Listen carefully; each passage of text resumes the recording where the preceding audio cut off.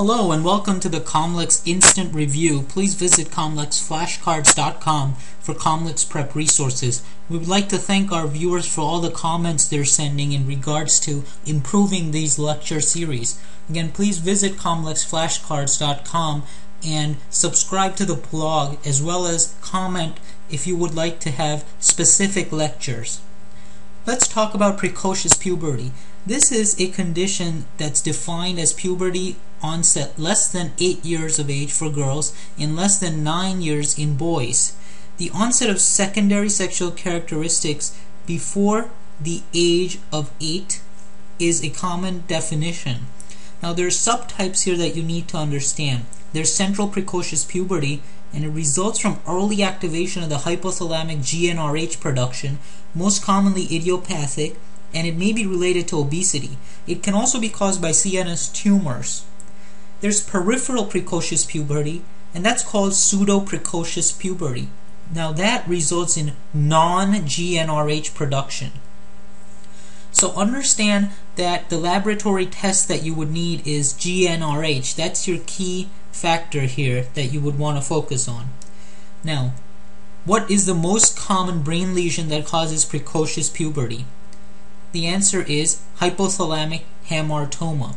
This consists of a GnRH secretory neurons. On MRI, you'll see mass on the floor of the third ventricle. And signs include diabetes insipidus, hyperthermia, unusual laughing, and visual symptoms. Now, name the endocrine disorder associated with patchy pigmentation of the skin and fibrous dysplasia of the skeletal system. Well, that's McCune-Albright syndrome. And so these are just a few things you want to keep in mind as you're thinking about precocious puberty. Let's go through each of the algorithm for working up precocious puberty so you get a better understanding. Now, first, as a patient presents to you with precocious puberty, you're most likely going to see signs of estrogen excess, breast development and possibly vaginal bleeding, to ovarian cysts or tumors. There's also signs of androgen excess, pubic and axillary hair, enlarged clitoris, increased body odor. All these suggest adrenal tumors or congenital adrenal aplasia. How do you make the diagnosis? Well, the first step is to obtain a radiograph of the wrist and the hand, okay? Wrist and the hand to determine the bone age. If the bone age is within one year of the chronological age, puberty has not started or has just recently begun. But if the bone age exceeds the chronological age by greater than two years, then puberty has been present for at least one year or is progressing rapidly. The next step is to get a GnRH analog like leuprolide simulation test. Okay, so first you get the bone scan, I mean the radiograph of the wrist and the hand, not the bone scan, and then you get the GnRH stimulation test. For central precocious puberty, if the LH response is positive, then you obtain a cranial MRI to look for CNS tumors. Now, in girls between 6 to 8 years of age with signs of precocious puberty, the incidence of CNS tumors is only 2%. And if CNS tumors are ruled out, then constitutional precocious puberty is likely the etiology.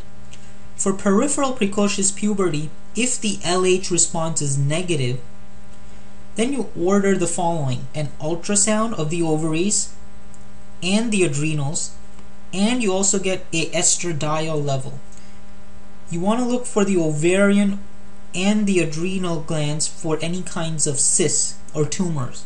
You want to look for estradiol because these levels will be increased in ovarian cysts or tumors. Now, if the onset of secondary sexual characteristics is seen by age 8, then work up for precocious puberty by determining the bone age and conducting a GnRH simulation test to determine central from peripheral puberty is recommended. What are some of the basic causes of peripheral precocious puberty? Well, congenital adrenal aplasia, adrenal tumors, polycystic fibrous dysplasia, also known as McCune-Albright syndrome, gonadal tumors, and exogenous estrogen or oral OCPs, as well as ovarian cysts. Now, what about central causes? Well, you have idiopathic, hamartomas, tumors, and congenital malformations of the hypothalamus, dysgerminomas, hydrocephalus, CNS infections, pineal tumors, and also an association with tuberous sclerosis and neurofibromatosis. So those are some of the key things you would want to keep in mind as you're studying for the board exam. The other things you want to look for are the androgen DHEA levels, okay, and 17-OH progesterone to screen for advanced bone age. How do you treat this condition? Well, the treatment consists of central precocious puberty, mainly leuprolide as the first line therapy. With treatment, physical changes regress or cease to progress, and that's a key sign of its efficacy. For peripheral precocious puberty, you would treat the cause. So if it's ovarian cyst, then you really don't need any intervention unless the cysts are rapidly enhancing, but in most cases they will regress. For congenital adrenal hyperplasia, you treat with glucocorticoids, and surgery is not required for the treatment of ambiguous genitalia. Okay?